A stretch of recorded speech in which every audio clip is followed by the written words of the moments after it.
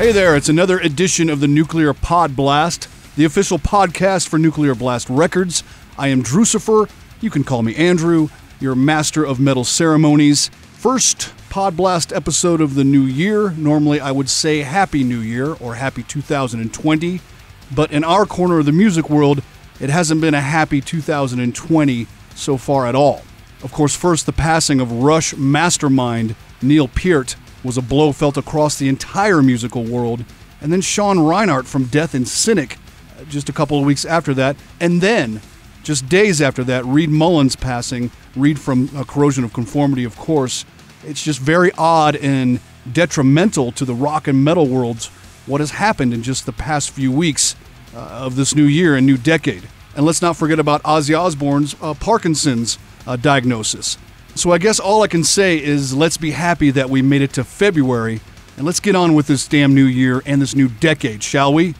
As always, check out nuclearblastusa.com for new releases, tour dates, pre orders, specials from the shop, vinyl, bicycles, reading material, anything you need related to Nuclear Blast and heavy metal.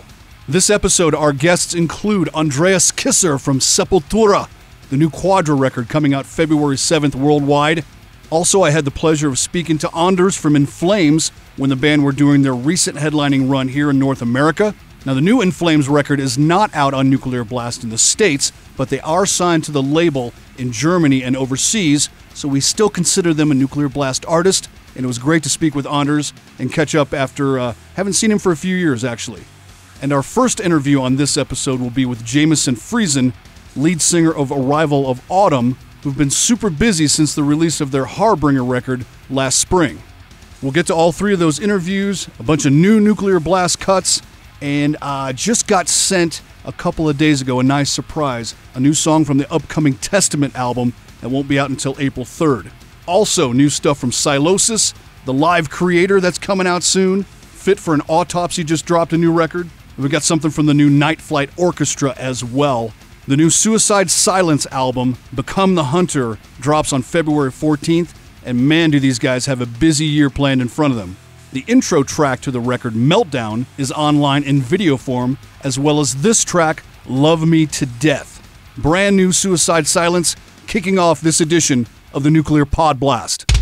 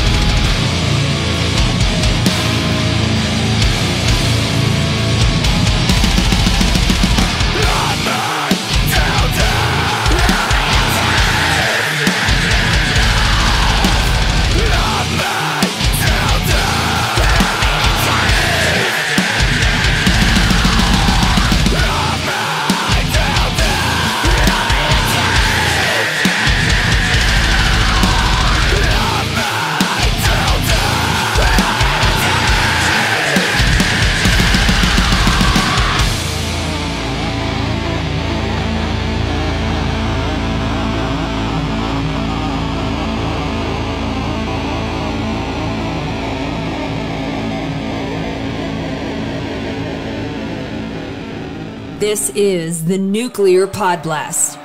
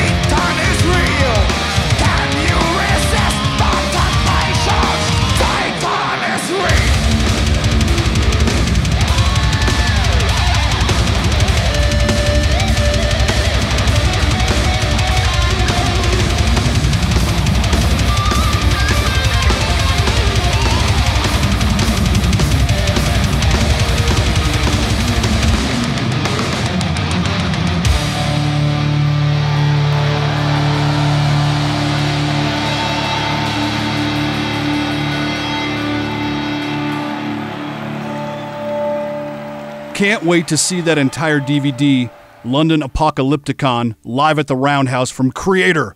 Comes out March 6th. That track was Satan is Real. Some great energy between band and audience. And uh, again, I can't wait to see the full Blu ray.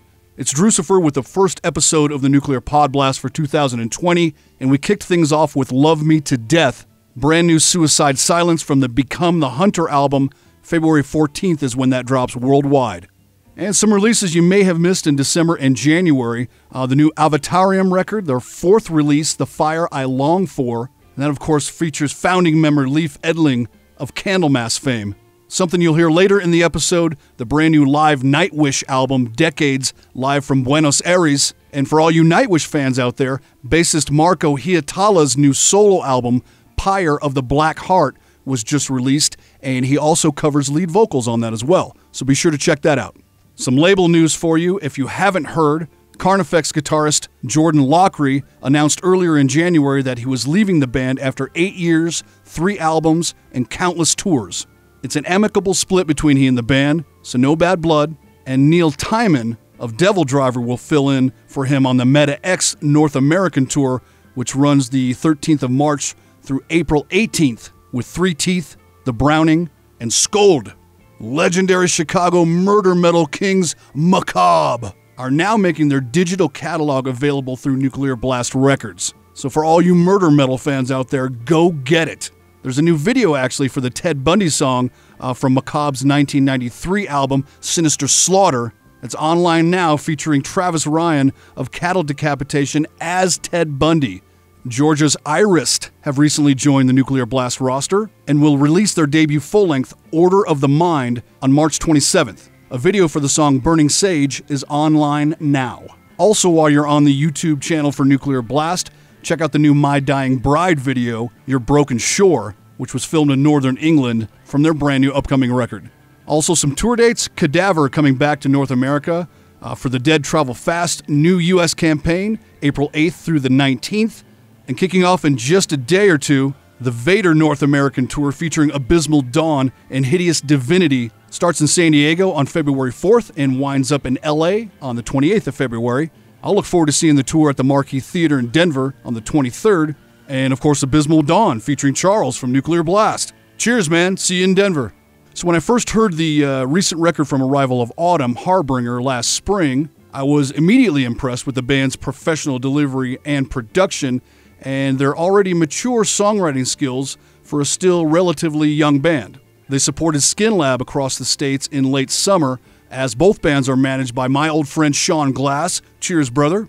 Although I thought they were a solid opening band then, it wasn't until seeing them in front of In Flames late last year in Denver where I really realized their live potential. On a bigger stage, in front of a more diverse audience, the Canadians won over the packed house, and people in the crowd were immediately buzzing about the band when their set was finished. I got a chance to catch up with lead vocalist Jameson Friesen outside the club before the set that night. Hey, it's Drucifer with the Nuclear Pod Blast. We're uh, getting cozy in the van here outside of the Gothic Theater, Denver, Colorado, with Jameson from Arrival of Autumn. Uh, you guys just kicked off this uh, tour with In Flames and Red last night in Wichita, Kansas. So it's it's dumb of me to say how's the tour been going so far with one night under your belt, but God, how excited are you guys to be a part of this? It's fantastic so far. Yeah, it's really exciting. The crew has been fantastic so far, you know, so it's great vibes all around. So far, so good. Nice. You guys just put your new record out, uh, Harbinger, on Nuclear Blast back in March. Uh, you've got a great team behind you with uh, my old friend Sean Glass, of course, as your manager, and Monte Conner from Nuclear Blast Entertainment in your corner. Uh, you guys are obviously working hard on the road as well, as I just saw you in Colorado Springs a couple of months ago with Skin Lab, uh, supporting those guys. You just kicked off this big run. Needless to say, things are looking up uh, for the band overall. Yeah, definitely. We've been putting in a lot of time on the road uh, this year and just trying to get the album out there, and things are just going you know better and better for us. So it's it seems to be working. You come from a remote area in northern Canada. I, I, even forget the name of the town, which seems to have given the band a hard work ethic and an immense drive to bring this uh, this music in your band to the next levels. Yeah, definitely. No matter no matter what, if we wanted to increase our fan base, we had to drive at least five hours to the nearest city with a with a metal scene.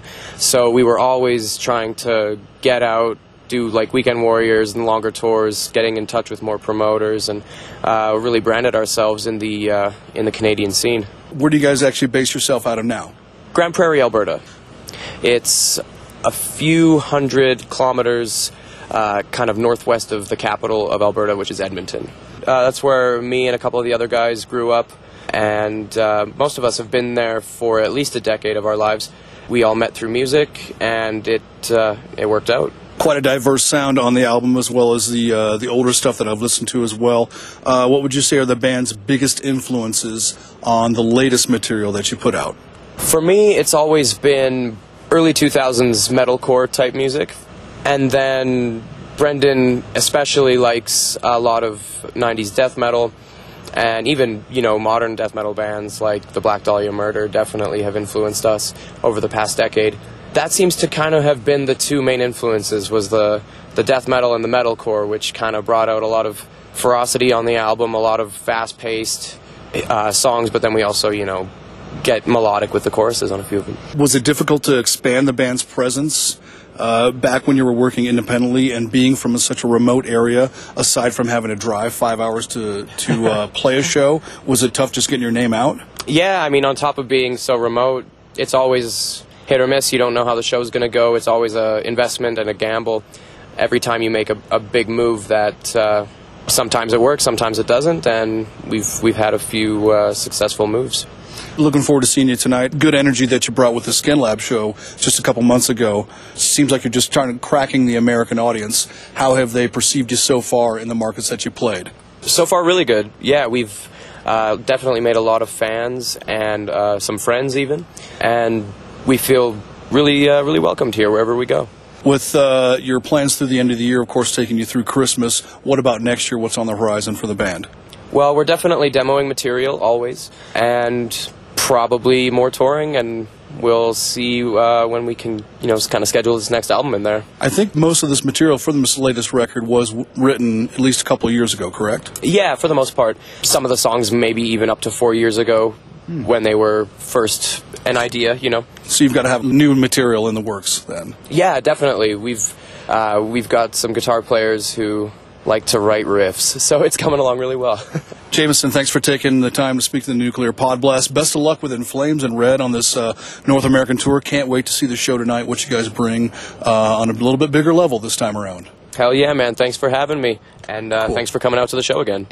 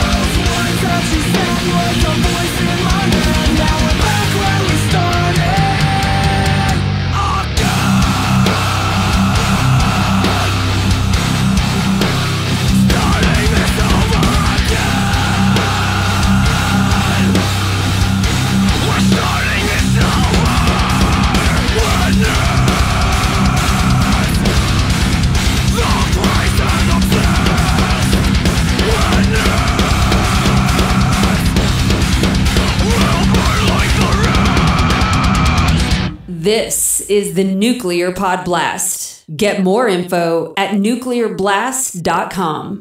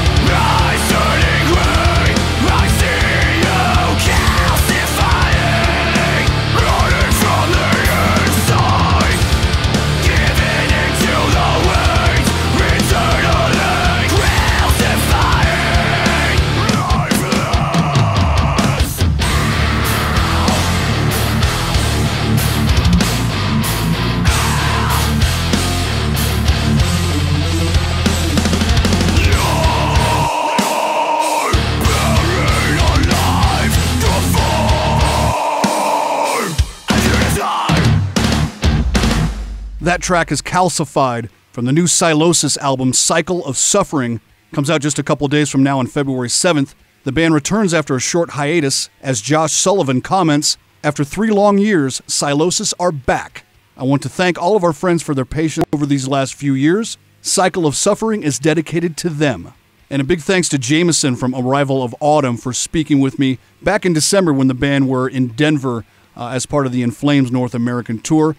And again, that band is so impressive live. Uh, I saw them on a smaller scale last spring and then in front of In Flames on a bigger stage.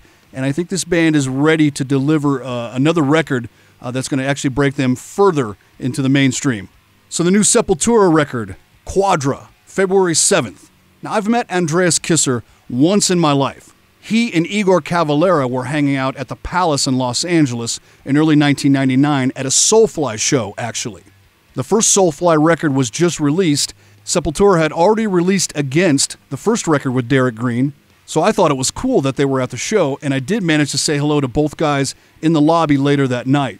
Now, as an early Sepultura fan, I enjoyed the band's new direction for the first few albums with Derek, and uh, you know, but after that, it just started. It started to get a little thin for me. I'll be honest. But with the departure of Igor, I thought the band started really focusing on different musical aspects uh, to where a different sort of complex energy was was starting to rise to the surface.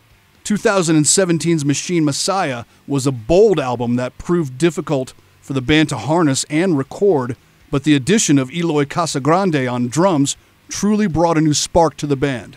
Quadra, for me, uh, is the most compelling and fulfilling Sepultura album in several years. It's no secret amongst fans that the album was approached and sort of written in four parts or movements, highlighting a different side and or era of the band over the last 35 years. Now, as you'll hear from Andreas, the number 4 not only has a great importance to the album and the band, but also to humankind and our history and uh, our existence beyond. It was awesome to get full explanations about the background of the album and the recording. So after we play the first single, Isolation, I'll just let Andreas take over. Isolation from Sepultura on the Nuclear Pod Blast.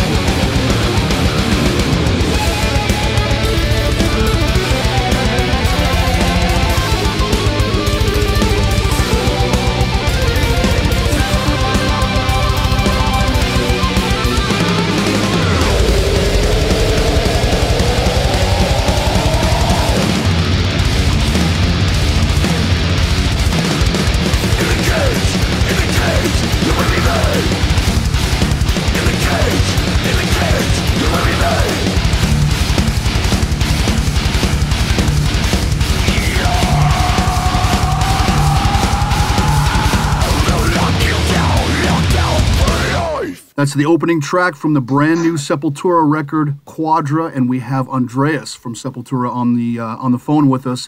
Thank you so much for taking the time to talk to everybody at the Nuclear Pod Blast, and congratulations on a new record. Thank you, thank you very much, man. It's a pleasure talking to you and your, your listeners. Well, the writing process for Quadra seems to have been a new approach for you and the band. Explain how you came up with the idea to write and separate the album essentially into four different parts, representing four different aspects of the band's persona. Yeah, it's more or less like that. I mean, I mean it came with um, um, looking for a new topic or a new direction, you know, to to, to write.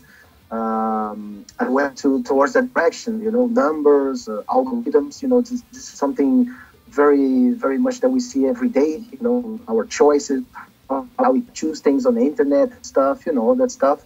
And the number four, there's so many uh, aspects of our culture that is divided by four, like the year, the seasons of the year.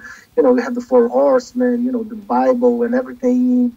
And that was the starting point, you know, numbers, algorithms, and number four. And then I found this book, Quadrivium. Quadrivium talks about the four liberal arts, you know, the music, geometry, cosmology, and mathematics. You know. Yes. And on Quadrivium, you have the, the definitions of numbers, and the definition of number four, according to the Quadrivium, is is where things happen. You know, the, the the moment of manifestation. That was the starting point. You know, and um, and that's where it, the, the name Quadra came. You know, number four, the geometrical formats and stuff. Mm-hmm. And quadra, it's uh, it's uh, in Portuguese, it's uh, sports court, you know, like a basketball court or a tennis court, where you have a delimited area with a set of rules where the game takes place, you know. Mm-hmm. And um, it's life itself, you know. I mean, our country, like United States or Brazil or, or whatever country, it's a quadrant where you have a set of rules of culture and religion and politics and, you know, why we see women in the different ways in different countries and different cultures and religion and stuff, you know. And in the end, Quadra brings the question, why do we believe in those concepts, in those stereotypes, and why do we trust our school? You know, why we trust the, the, the stuff that we learned, you know, because we didn't experience ourselves, you know, basically I think the majority of concepts we have in our mind was, was implanted by school and movies and tradition and, and etc. You know, so uh, mm-hmm. I mean, Quadra brings that. You know, I mean, uh, like this uh, uh, a self question or inner question. You know, why do I believe in the stuff I believe? And and why uh, uh, people hate each other because of that, you know, because of concepts, you know, of religion. My religion is better than yours. My God is better than yours, or my country is better, whatever, you know. So he creates animosity, he creates this uh, idea of stereotypes, and he, he, that's where we learn how to hate, you know. And, and I think Quadra brings this aspect, you know, we should respect the differences and not attack them, you know, mm-hmm. because Sepultura had the privilege to travel for 35 years. We visited 80 plus countries in the world. You know, we music opened the doors in many different uh, countries, religion and politics, and we see in the in the end we're all the same, but with just a different set of rules. You know, we all come from the same yeah. four elements of the universe as well: earth, water, air, and fire. It makes yeah, sense. because we're born and we, we don't know nothing. You know, we just uh, start learning and baptized, and this is that, this is this, and stuff. You know, it's very confusing actually. And then we start believing in that, and we start uh, you know defending ideas that we, you don't know where it came from. You know. Mm-hmm. So first aside, I mean, uh, divide the album in four. You know, like uh, in a vinyl. Uh, format. You know, right, like double a, vinyl, exactly. side A, more of the trash feeling, the old school, you know, element like It Remains or Rise Days, you know. And then side B, more of the groovier stuff with Chaos AD and, and, and Roots and, and Against, you know, the, the percussion stuff and everything. And then side C, more know, like the instrumental stuff, which was very important for Cultura since day one, you know. Right, right. And uh, and side D was more connected to the song Machine Messiah, you know, that kind of vibe of uh, the, the version we did from uh, Angel of Massive Attack as well, you know, more of a slower pace uh, song with a lot of melody and, and stuff. So let's get a little bit more specific on the songs themselves. In the first quarter of the record, the first three tracks, Isolation, after a grand intro build-up, sets a pretty devastating pace uh, with some great start-stop thrash riffing and Derrick's ferocious vocals. Uh, the solo part is also notably chaotic. Uh, Means to an End is a complex song as well, especially with Eloy's awesome drum patterns at the beginning. And Last Time is again more sheer brutality. Was the first quarter of the album any more satisfying or any different in the sense where the band was just absolutely able to aggressively let loose? Yeah, I think so. I mean, that's the idea that we had behind, you know, really to to bring not only the you know the stuff that we did during those days, like schizophrenia, beneath the remains, you know, late '80s, early '90s type of vibe. Mm-hmm. Remember the bands that we were listening during those days, you know, like the hardcore stuff and the trash and all the, the German stuff, destruction, you know, Kreator, yeah, all that yeah. stuff. I mean, that really influenced Sepultura so much, you know.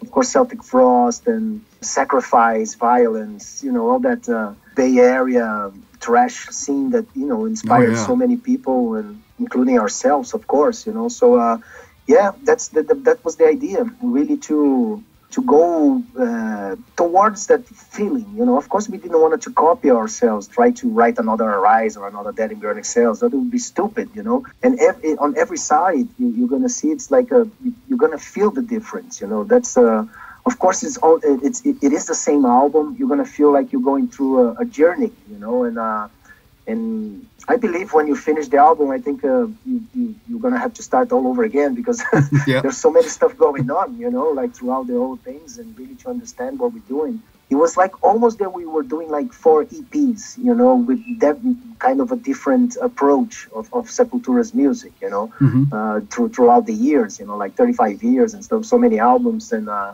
and um, but of course we were thinking about in a globally, you know, uh, album atmosphere, but uh, it helps, you know, really to put the right riff or the right idea to a certain side of the album that wouldn't be, you know, too weird, you know. I like the approach of this. The second quarter of the album, as you mentioned, a little bit more of the groove oriented stuff. Um, however, Ali isn't any less bludgeoning, you know, than the songs yeah. before it. It is. It is a song that um, I, I, I, can compare a little uh, uh, structure wise, you know, with Kairos because he has like three di- different uh, vibes within the, the same song, you know. Sure, yeah. And, uh, and I and I and I think it, it, represents a little bit of, of Muhammad Ali's story, you know, because he started as Cassius Clay, gold medals in the Olympics and stuff, and and then he came back to the states and changed his name, uh, changed religion, you know, said no, say no to Vietnam War. He was a you know, balls, you know, very smart with argument, you know.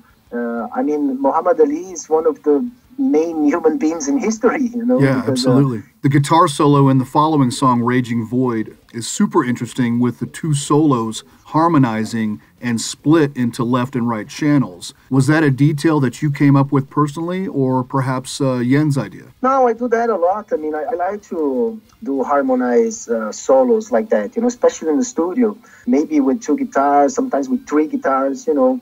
And um, on on Machine Messiah, I have a lot of those, and and live, I'm, I'm using like um, harmonized pedals, you know, to try to represent what I do in the studio. But yeah, I mean, working with Jens on, on the solos, it's, it's so so great, you know, because he's also a guitar player. He, he's almost like a luthier, you know, very keen to details and stuff. And he had also great instruments at his studio, so a lot of pedals. And so we tried a lot of stuff, you know. And of course, I think that's the best part of the recording. And I think he, he thinks himself too, you know, like the guitar parts. And it's a lot of fun. You, you spread all the pedals around and, you know, it's like a, an experimental uh, process, you know, which is great.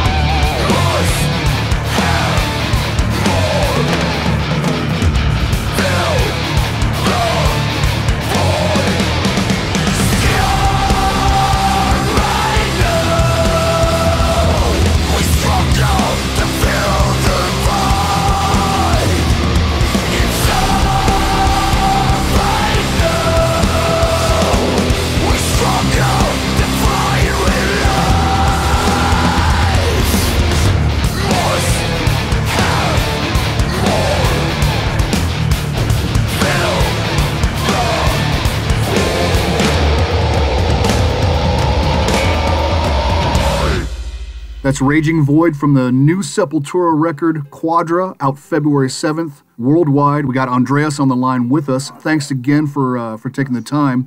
Your perception you. of the third quarter of Quadra is that it highlights the more experimental side of the band, uh, which makes Yeah. sense as I find the acoustic intro and the layered guitar solo on Guardians of the Earth, Guardians of Earth, uh, adds a super ethereal feel to an otherwise dramatic and sort of stunning song structure.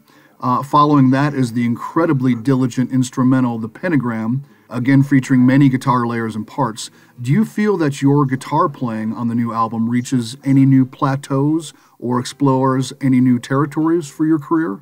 Oh, most definitely, yeah. Uh, that's uh, I think my my intention really re- to explore uh, as much as I can. You know, I was um, you know during days of uh, especially Chaos AD and Roots. You know, I, I went away from all those arpeggios and solos and tradition stuff. You know, and I started working my my leads more connected to the percussion world. You know, more percussive leads with more dissonant sounds and stuff. Um, and and doing so, I think I, I kind of created kind of a signature sound, you know, with that uh, Yes. you know uh, propaganda and, and many other like uh, songs that I used the dissonant stuff that uh, I was purposely uh, trying to work more connected to the rhythm part instead of just scales and harmonies and all that stuff, you know.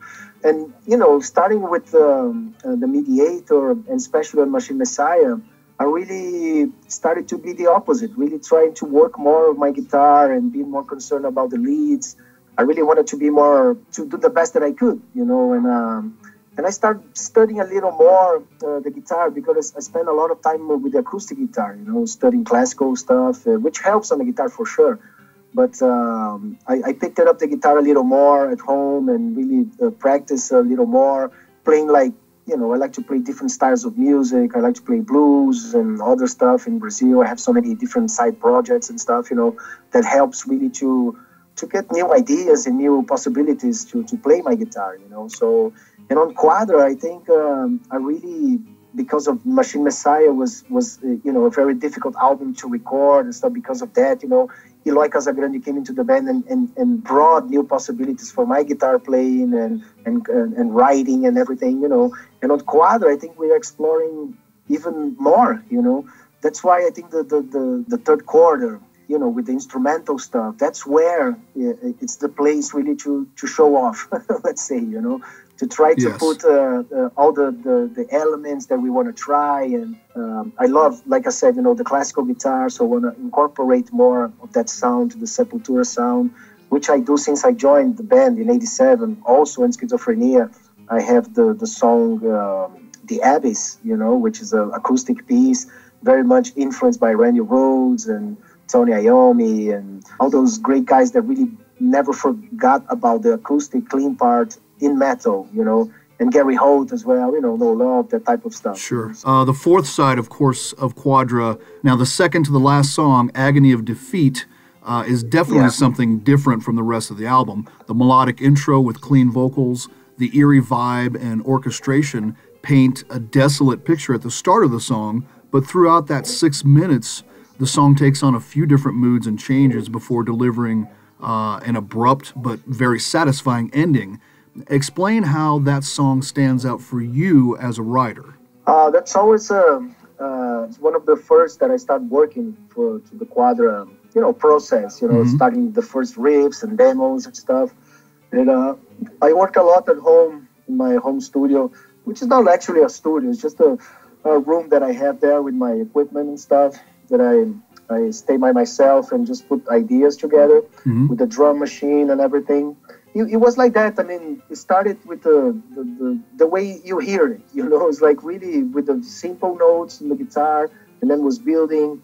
And every time I had this geometric idea because the whole album was very much influenced by that, you know. Right. So the, all the stuff it repeats like in, in, in, in fours, you know, and it, it, every time it comes a new element on it, you know, it's almost like a, a bolero from Ravel, you know, that you have new elements every time the song comes back, you know, like a little bit here and there, and then when you and you feel the song is already there, you know, like uh, screaming on your ear and stuff, and uh, and then finally change for the chorus, you know, and uh, and also the, the instrumental part, the leads. It's one of the, the, the leads that I like the most on the album. You know, it's really I don't know. It's really had that the, the, kind of old old heavy metal feeling, you know, type of vibe like Randy Rhoads or Ozzy Dio's type type of. Uh, at least in my perspective, you know. But uh, yeah, it, it, it, it, feels like old for us. Not old in a sense that you know we worked at very much every detail from it, including when Jens came in, you know, with all the choirs and orchestration, the right stuff at the right uh, place and everything, and. Uh, it was great that not only itself the song was like that, but the way we work the song uh, together was was kind of the same feeling. You know, like every element coming at the right place at the right time. Very cool. I mean, this this is the most incredible thing, you know, um, uh, and this I think is the, our biggest achievement. I think we are in our best momentum with the best label, with the best lineup, with the best you know following of fans all over the world, and I think uh, Quadra comes really to celebrate, you know, this great achievement that uh, Sepultura is still alive and well. You know. I agree. This this lineup is volatile, and this uh, the new album I think sets a sets a new pace for for the band. And I do like Definitely. I like the fact that it's um, it has ties to the previous album. But like Yeah. if you just look at the two different album covers, you've got two completely different things. So it, there there is separation there visually, I think, as well as musically. So congratulations on such a great record. Thank you very much, man. Thank you. Appreciate that. This is the Nuclear Pod Blast. Get more info at nuclearblast.com. Man, was able to talk to Andreas from Sepultura. Uh, again, I met him briefly once previous, uh, but never got a chance to interview him. And he's very articulate, very well spoken about the details that go on with music and his guitar playing. Uh, he kind of took that and ran with it. I was glad to hear that. So again, big thanks to him uh, for joining us here on the Pod Blast. February 7th is when Quadra comes out. Double vinyl, different colors as well as black vinyl, two CD release, and that uh, second track we played actually, Raging Void, uh, my current favorite. Check out the pre orders available over at nuclearblastusa.com. The new My Dying Bride record, The Ghost of Orion, comes out March 6th. It looks like you can get a double LP and t shirt bundle at the Nuclear Blast web shop for $45.99. Not too bad. Sweden's Burning Witches also put out a new record, Dance with the Devil, on March 6th. Black, yellow, or red double vinyl available for that. And that just happens to be the same day that the Kreator live DVD Apocalypticon Live at the Roundhouse comes out as well. Yes, you heard me mention earlier that uh, I've got a new Testament track to play for you. Titans of Creation, the brand new record, scheduled for an April 3rd worldwide release. Juan Urteaga once again recording with the band, and the legendary Andy Sneap producing and putting the final touches on there. Testament will team up with Exodus and Death Angel for the Bay Strikes Back 2020 tour, kicking off in Europe on February 6th in Copenhagen, Denmark, and will hit 25 cities before concluding on March 11th in Hanover, Germany. Please let the metal gods grace North America with this touring lineup. So, without further ado, here's the brand new one from Testament. This is Night of the Witch, and you heard it first on the Nuclear Pod Blast.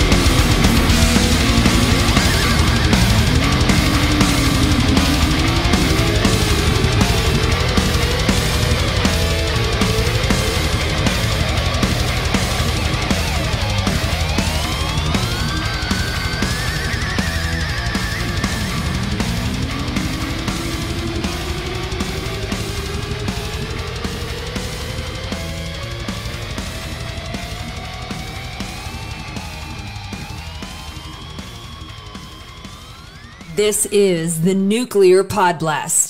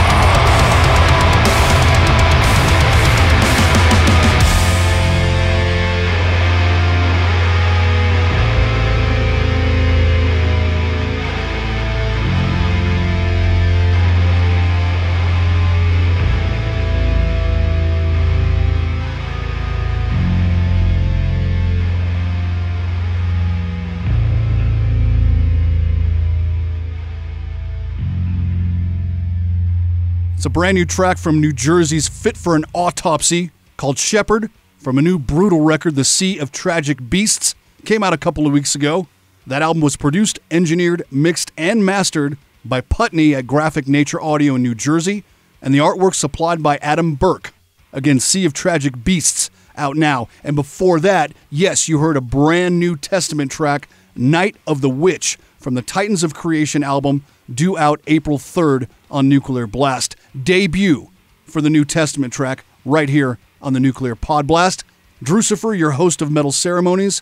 I don't take this lightly, folks. I appreciate you listening. So does Nuclear Blast. We all live for metal, right? Uh, and as I've mentioned before, I used to work for Nuclear Blast and Century Media doing promotions. And uh, back when the two labels first joined forces if you'll remember in 2001, one of the bands that I was most excited to start working with was In Flames. Having been a big fan since the Jester race, it was great to get to know the band as people uh, more while helping bring their music to wider audiences. I toured with the band on scattered dates of the Clayman and Reroute to Remain tours here in the U.S., as well as some of the band's Ozzfest main stage dates in 2005. Anders Fridén is someone I've always truly respected and have had great conversations with, uh, as well as plenty of beers over the years. The band has since exploded just all over the world in all territories, and one thing's for sure they have definitely formed an unmistakable style and sound that literally hundreds of bands have borrowed from since. Although the band's latest record, I the Mask, wasn't released by Nuclear Blast in North America, they are signed to the label outside of this territory, so we still consider them a roster band. The most recent tour here in late 2019 with Arrival of Autumn and Red in support sold out in many of the cities it played in, and In Flames pulled off an impressive 22 song set list that went back to the mid 90s. So it was great catching up with Anders before the show. We talked about the addition of Chris Broderick on guitar. We get to hear a little bit more about his brewery. It's just awesome to still know that he's just having a ball. It's the Nuclear Pod Blast with Drucifer. We're here with Anders from In Flames. Just started your North American tour last night. How was Wichita, Kansas? well, it was good. Uh, I haven't been in Wichita for either for a while or ever. I can't remember. Maybe forever. Yeah. yeah. I mean, it's it's been so many shows. You tend to sort of forget where you've been, and you walk into the club and be like, hmm, "Yeah, cool. I've been here." You know, uh, the smell maybe or something yeah. brings it back. We're in Denver tonight, though, and I've been there. Have been many, many times, and I have good good memories. What was your last uh, show with uh, when you were supporting Within Temptation? I don't think you, you were a little under the weather, so. Oh yeah, yeah. yeah. Not even drinking that night. No, no. Well, then, then you know I'm under the weather if I'm not drinking. Usually it happens once during a long tour. Get sick, and for me, being the vocalist, it's difficult. You know. Obviously. Well, speaking of the new material, In Flames continues to walk uh, thin line between you know super heavy rhythms, always interesting guitar work, and of course your diverse uh, vocal delivery.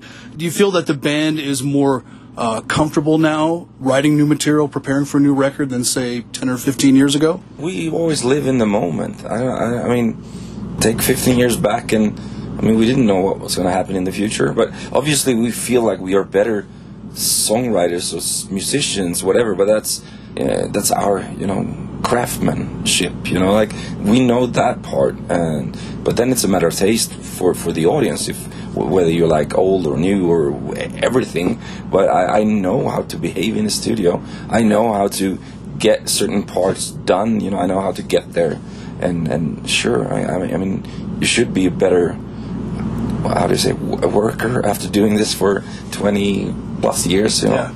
so yeah, I, I'm, I, I love being in the studio. I love creating songs and coming from nothing to something that you feel super happy about, you know. Well, the last time I interviewed you, I think it was around the Sounds album uh, when that came out, and something I always remembered from that interview was at the time you said that your greatest accomplishment with the band was actually having a sound, forming a sound, whether it's melodic or brutal. It's in flames. You know it's in flames. Again, we're just who we are and doing what we feel like. You know, with we don't tend to listen to any outside pressure, either from fans or label. You know, it's mm-hmm. we write what we want to write, and however it's perceived, then then that's it. You know, I mean, we always you're always proud of what you you create and what you when you release it. If you're not proud, if you're not happy, then why why releasing it at all? You know, um, I I don't get when bands say, yeah, well, this this new album is you know, it's not as good as the previous one. It's like, what the fuck? it should always be, you know, like your best work at that time. Yeah, at that time for for you, and then obviously, um, again, fans have their favorites and so on. But it's very true what I answered, though. I mean, coming from a small town in in Sweden and being recognized all over the world, where people could say, okay, I hear that's in flames. That's uh, that's probably yeah that's the greatest achievement you know and i'm very very proud of what we've done and that we're still here and still have a good time you know like, like fuck i love going on stage i love seeing our fans out there and i love creating the music so whenever i will keep on going until that feeling disappears it doesn't seem like you guys have really. I mean, some of your some of your albums, you've, you've definitely ventured off into some some uh, some farther territory, but you still keep that rooted sound. I, I think. I mean, we can't escape from who we are, you know. And uh, I think a lot of different, like how the albums are are, are perceived from a fan's perspective. Also a lot of when it comes to the production, how it, how it actually sounds. If you take some of the earlier riffs and put that in the latest album, it it would easily blend in, and the other way around, you know. Um, and I still love the that type of metal where we're coming from but as an artist i just want to create something new something different uh, without sort of losing the the heart and the soul of in flames uh, then that could be debatable i guess you know but it, it is for me at least it's just it has to stay true to who i am and what i you know how I, I want where I want In Flames to be. When you what you can see now, I mean, on this tour we go all the way back to to Luna Strain up until to today, and and it's it's just like, you know, I'm f- feeling fucking awesome when we play those songs, and I, I love it, and I think it go goes really well together with them. As I said, as I said many times with with the the new stuff. Well, one question about beer. Um, Frequency Beer Works. You're a part owner, is that correct? Yes. Yeah, yeah, yeah. Okay. Uh, I did a little uh, looking around on the I website. I am actually a founder as well because we've, we've uh, I started that uh, seven or eight years ago. Go to different brewers to, to do my own beer with them. You know, creating Collaborate, yeah. Yeah, having a recipe. What do you call? You call them uh, um, uh, ghost brewer or whatever. Like Yeah, so yeah. so. But now since three years back, I've had my my own place. You know.